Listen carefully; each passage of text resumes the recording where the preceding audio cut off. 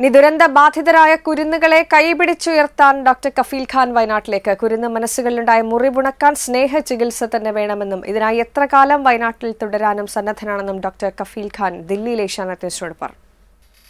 ഗോരഖ്പൂരിലെ B R C medical കോളേജിൽ ജീവവായു കിട്ടാതെ പിഞ്ചു കുഞ്ഞുങ്ങൾ പിടഞ്ഞു മരിച്ച സംഭവം പുറം ലോകത്തെത്തിച്ച് യു പി സർക്കാരിന്റെ കണ്ണിലെ കരടായി മാറിയ ഡോക്ടർ കഫീൽ ഖാൻ.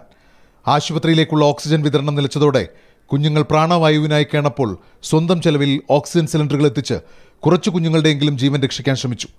എല്ലാം മികച്ചതെന്ന് അവകാശപ്പെട്ടിരുന്ന സർക്കാർ ആ സംഭവത്തോടെ നാണം കിട്ടു. വീഴ്ച വരുത്തിയവരുടെ പട്ടികയിൽപ്പെട്ട് പ്രതികാരത്തിനിരയായ കഫീൽ ഖാനെ കാത്തിരുന്നത് നീണ്ട ജയിൽവാസം. ജയിലിൽ നിന്ന് പുറത്തിറങ്ങിയ ശേഷം ജീവകാരുണ്യ പ്രവർത്തനങ്ങളിൽ സജീവമാണ് ഡോക്ടർ. വയനാട്ടിലെ ദുരന്തത്തിൽ നിരവധി കുട്ടികൾക്ക് പ്രാണൻ നഷ്ടപ്പെട്ടത് കടുത്ത വേദനയായി.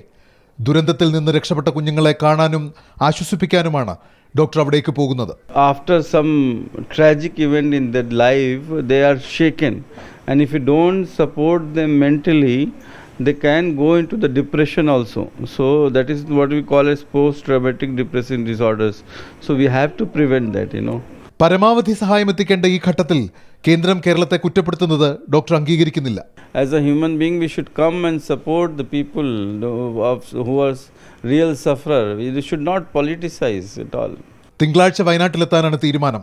മെഡിക്കൽ ക്യാമ്പ് സജ്ജമാക്കി അവിടെ തുടരാനാണ് താല്പര്യം സംസ്ഥാന സർക്കാരിന്റെയും എം പിമാരുടെയും പിന്തുണ തേടിയിട്ടുണ്ട്. കുഞ്ഞു മനസ്സുകളിലുണ്ടായ വലിയ മുറിവിൽ അല്പമെങ്കിലും സാന്ത്വനം പകരാനായാൽ സ്വയം ആശ്വാസമാകുമെന്ന് കൂടി കരുതുന്നു ഡോക്ടർ ഖഫീൽ ഖാൻ. ദീപവും നായർക്കൊപ്പം ദില്ലിയിൽ നിന്ന് ബിനുരാജ് ഏഷ്യാനെറ്റ് ന്യൂസ്